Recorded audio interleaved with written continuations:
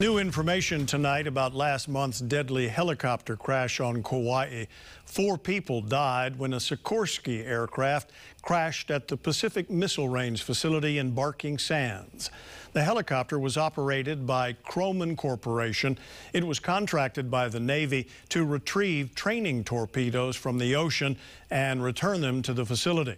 According to a preliminary report by the NTSB, witnesses saw the helicopter crash nose first in a near vertical altitude near the facility and caught fire. The NTSB recovered the wreckage for additional testing. Those results are pending.